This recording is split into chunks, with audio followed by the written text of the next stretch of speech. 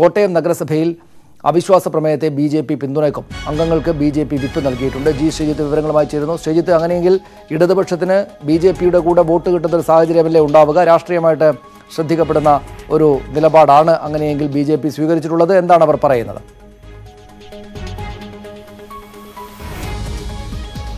തീർച്ചയായും സനീഷ് പ്രതീക്ഷിക്കപ്പെട്ടതുപോലെ തന്നെ ഇടത് പ്രമേയത്തെ ബി ജെ പി അനുകൂലിക്കുന്നു എന്ന രാഷ്ട്രീയമായ കൗതുകം കോട്ടയത്ത് ഉണ്ടാകുകയാണ് എന്തായാലും ബി ജെ പിയുടെ ജില്ലാ കമ്മിറ്റി ഓഫീസിലാണ് ഞാനിപ്പോൾ ഉള്ളത്. അവർ യോഗം ചേർന്നുകൊണ്ടിരിക്കുകയാണ്. ഇപ്പോൾ ചേർന്ന യോഗത്തിലാണ് ജില്ലാ അധ്യക്ഷൻ ഈ അംഗങ്ങൾക്ക് എട്ട് അംഗങ്ങളാണുള്ളത് അവർക്ക് വിപ്പ് നൽകിയത്. ഈ അവിശ്വാസ പ്രമേയത്തെ പിന്തുണയ്ക്കണം എന്ന വിപ്പാണ് നൽകിയത്. സംസ്ഥാന നേതൃത്വത്തിന്റെ അംഗീകാരത്തോടു കൂടിയാണ് ഇങ്ങനെ ഒരു വിപ്പ് നൽകുന്നതെന്ന് നോബിൾ മാത്യു ജില്ലാ അധ്യക്ഷൻ നോബിൾ മാത്യു അംഗങ്ങളെ അറിയിച്ചു.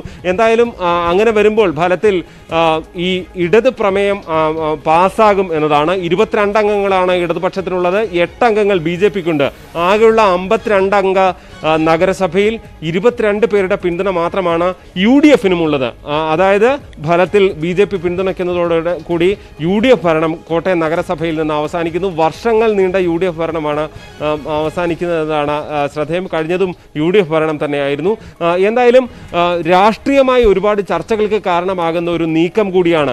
ഇരാട്ടുപേട്ടയിൽ എസ് ഡി പി ഐയുടെ വോട്ട് നേടി അവിശ്വാസം വിജയിപ്പിക്കുന്ന രീതിയായിരുന്നു ഉണ്ടായിരുന്നതെങ്കിൽ കോട്ടയത്ത് അത് ബി ജെ പിയുമായി ഒരുപക്ഷെ ചേരുന്നു എന്ന ആരോപണമായിരിക്കും കോൺഗ്രസിനെ സംബന്ധിച്ചുണ്ടാകുക. പക്ഷേ ബി ജെ പിക്കും സി പി എമ്മിനും വ്യത്യസ്തമായ വിശദീകരണങ്ങളുണ്ട്. പ്രത്യേകിച്ച് ഭരണത്തിനെതിരായ വികാരമാണ്. അതായത് ഒരു ചെയർമാനെ തിരഞ്ഞെടുക്കുന്നതിനല്ല ഈ വോട്ടെടുപ്പ് നടക്കുന്നത്. ഒരു ഭരണത്തിനെതിരായ അവിശ്വാസമാണ്. ഭരണത്തോട് എതിർപ്പുള്ള എല്ലാവരും അതുകൊണ്ട് തന്നെ വോട്ട് ചെയ്യുന്നു. എന്ന നിലപാടാണ് സി പി എമ്മും ബി ജെ പിയും ഇക്കാര്യത്തിൽ മുന്നോട്ട് വെക്കുക. ഈരാറ്റുപേട്ടയിലും കണ്ടത് അതുതന്നെയാണ്. അതായത് എസ് ഡി പി ഐയുടെ വോട്ട് നേടി ചെയർമാൻ സ്ഥാനത്തേക്കില്ല എന്നാണ് അവർ നിലപാട് വ്യക്ത- വ്യക്ത- വ്യക്തമാക്കിയിരുന്നത്. കോട്ടയത്തെ കുറച്ചുകൂടി കാര്യങ്ങൾ എളുപ്പമാണ്. ഇരുപത്തിരണ്ട് അംഗങ്ങൾ മാത്രമാണ് എൽ ഡി എഫിനും യു ഡി എഫിനും ഉള്ളത് എട്ട് അംഗങ്ങൾ ആണ് ബി ജെ പിക്കുള്ളത്. കഴിഞ്ഞ തവണ നറുക്കെടുപ്പിലൂടെയാണ് യു ഡി എഫ് അധികാരത്തിലെത്തിയത്. ഏതെങ്കിലും യു ഡി എഫ് ആലയത്തിൽ ഇപ്പോൾ തന്നെ കടുത്ത ഭിന്നതയുണ്ട്. ഈ ബിൻസി സെബാസ്റ്റ്യൻ അധ്യക്ഷനാകുന്നതിനെതിരെ ഭിന്നതയുണ്ടായിരുന്നു. പല കക്ഷികൾക്കും ഭിന്നതയുണ്ട്. അങ്ങനെ വരുമ്പോൾ സ്വാഭാവികമായും ഏതെങ്കിലും ഒരംഗത്തിന്റെ വോട്ട് നേടിയാൽ ചെയർമാൻ തെരഞ്ഞെടുപ്പിൽ വിജയിക്കാൻ ഇടതുപക്ഷത്തിനാകും. അങ്ങനെ ഇടത് ഭരണം കോട്ടയത്ത് വരുന്ന സ്ഥിതിവിശേഷം ഒരുപക്ഷെ അവിടെ മാസങ്ങൾക്ക് മറ്റു ചില പ്രശ്നങ്ങൾ കൂടി ഉണ്ടാവുകയില്ല. അതായത് ഇപ്പോൾ അവിശ്വാസ പ്രമേയം പാസ്സാവുക എന്നത് സാങ്കേതികാർത്ഥത്തിൽ സ്വാഭാവികമായിട്ടും നടക്കും. പ്രത്യേകിച്ച് എട്ട് അംഗങ്ങളുള്ള ബി ജെ പിയുടെ പിന്തുണ കൂടെ ലഭിക്കുന്ന സ്ഥിതിക്ക്. പക്ഷേ അപ്പോൾ ഈ എസ് ഡി പി ഐയോട് സ്വീകരിച്ച നിലപാട് തന്നെയും സി പി എം സ്വീകരിക്കുകയാണെങ്കിൽ ചെയർമാൻ സ്ഥാനത്തേക്ക് വരികയില്ല എന്ന നിലപാട് അവർ സ്വീകരിക്കാനല്ലേ സാധ്യത. അതായത് ബി ജെ പിയുമായിട്ട് ചേർന്ന് ഭരിക്കുക എന്നൊക്കെ വെച്ചാൽ അത് പിന്നീട് വലിയ രാഷ്ട്രീയ ചർച്ചകളിലേക്ക് കാര്യങ്ങൾ പോകും. അതുകൊണ്ട് അതിലേക്ക് പോകാതിരിക്കാൻ ഇടതുപക്ഷം ശ്രമിക്കുകയില്ലേ? അങ്ങനെയാണെങ്കിൽ അവിടെ ഒരു ഭരണപ്രതിസന്ധി ഉറപ്പായിട്ടും വരികയില്ലേ?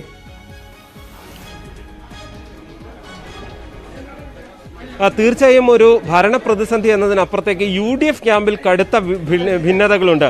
ബി ജെ പിക്ക് ബി ജെ പി പ്രത്യേകം മത്സരിക്കാൻ തന്നെയാണ് സാധ്യത. യു ഡി എഫ് ക്യാമ്പിലെ ഭിന്നത മുതലെടുക്കാനായിരിക്കും യു ഡി എഫ് നീക്കം. ഒരംഗം എത്തിയാൽ പോലും ഭരണം പിടിക്കാൻ കഴിയുന്ന സ്ഥിതിവിശേഷം എൽ ഡി എഫിനെ സംബന്ധിച്ചുണ്ടാവും. സനീഷ് സൂചിപ്പിച്ച പോലെ തന്നെ ബി ജെ പി പിന്തുണയോടെ ഒരു ഭരണത്തിലേക്ക് എത്താൻ എന്തായാലും ഇടതുപക്ഷം തയ്യാറാകില്ല. അത് അവരുടെ പ്രഖ്യാപിത നിലപാടാണ്. അത് ഈരാറ്റുപേട്ടയിൽ എസ് ഡി പി ഐയുമായി ചേർന്ന് അവർ ആവർത്തിച്ചതാണ്. കോട്ടയത്തും അത് തന്നെ ആവർത്തിക്കും. ബി ജെ പിയെ സംബന്ധിച്ചും അങ്ങനെ ഒരു ഭരണത്തിന് വേണ്ടി ഇടതുപക്ഷത്തെ പിന്തുണയ്ക്കാൻ പറ്റുന്ന രാഷ്ട്രീയ സാഹചര്യമല്ല കേരളത്തിലുള്ളത്.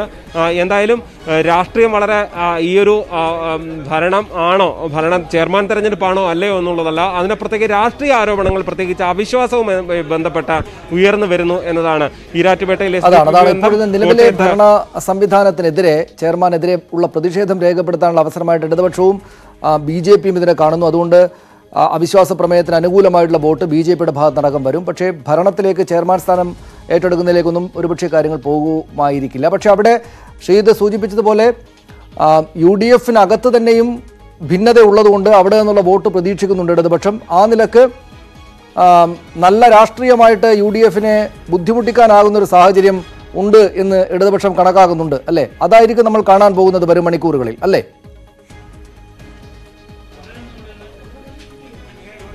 തീർച്ചയായും സനീഷ അതായത് കോട്ടയത്തിന്റെ രാഷ്ട്രീയ സാഹചര്യത്തിൽ വലിയ ഭൂരിപക്ഷം ഒന്നുമില്ലാത്ത അതായത് ഒൻപത് അംഗങ്ങൾ മാത്രമുള്ള ഇടതുപക്ഷം പതിനാല് അംഗങ്ങളുള്ള യു ഡി എഫിനെ ഈരാറ്റുപേട്ടയിൽ അട്ടിമറിച്ചതാണ്. മാത്രമല്ല ജില്ലാ സെക്രട്ടറി എ വി റസൽ പറഞ്ഞതനുസരിച്ച് ഈരാറ്റുപേട്ടയിൽ ഭരണം നേടിയാൽ അത്ഭുതപ്പെടാനില്ല എന്നതാണ്. അതായത് യു ഡി എഫ് ക്യാമ്പിൽ അവ അവിടെയും അവർ വിള്ളൽ വരുത്താനുള്ള ശ്രമങ്ങൾ നടത്തുന്നു. ഒരംഗം കഴിഞ്ഞ അവിശ്വാസ പ്രമേയത്തിൽ തന്നെ എൽ ഡി എഫിന് അനുകൂലമായി വോട്ട് ചെയ്തതാണ്. അതേ നില തന്നെയാണ് എരുമേലി പഞ്ചായത്തിലും ഉണ്ടായിരുന്നത്. എരുമേലിയിൽ സി പി എം ഭരണമാണ് ആ സി ഭരണം നിലനിർത്താൻ ഒരു കോൺഗ്രസ് അംഗത്തെ അടർത്തിയെടുക്കുന്ന സാഹചര്യമാണ് എരുമേലിയിൽ കണ്ടത്.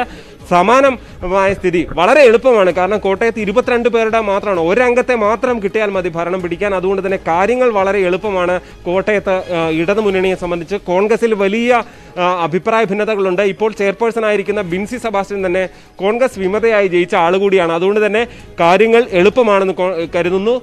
പക്ഷേ സ്വാഭാവികമായും ഒരു ഭരണസ്തംഭനം അതായത് ഇനി ഭാവിയിൽ ആറുമാസം കഴിഞ്ഞ് വീണ്ടും ഇടത് ഭരണം ഈ ഇടത് ഭരണത്തിനെതിരെ വീണ്ടും അവിശ്വാസം വന്നാൽ അതിനെയും ഒരുപക്ഷെ ബി ജെ പി പിന്തുണയ്ക്കുന്ന സാഹചര്യം ഉണ്ടായേക്കാം. അങ്ങനെ ഉണ്ടെങ്കിൽ കാരണം ബി ജെ പിക്ക് എട്ട് അംഗങ്ങളുണ്ട്. വളരെ പ്രധാനപ്പെട്ട ഒരു സംഖ്യയാണ് എട്ട് എന്നത്.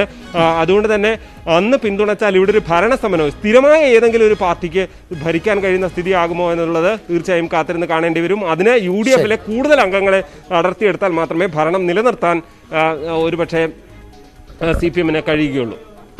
ശരി നന്ദി. ശ്രീജിത്ത് വിവരങ്ങൾക്ക് കൂടുതൽ വിവരങ്ങൾ ഉണ്ടാകുന്ന മുറക്ക് അങ്ങോട്ടേക്ക് വന്ന് കാര്യങ്ങൾ തേടിക്കൊള്ളാം. എന്തായാലും വളരെ കൗതുകകരമായിട്ടുള്ള ഒരു രാഷ്ട്രീയ സാഹചര്യത്തിലേക്ക് കോട്ടയം നഗരസഭ നീങ്ങുകയാണ്. അവിടെ എൽ ഡി എഫ് കൊണ്ടുവന്ന അവിശ്വാസ പ്രമേയത്തിന്മേൽ അനുകൂലമായ നിലപാടെടുക്കാനാണ് ബി ജെ പി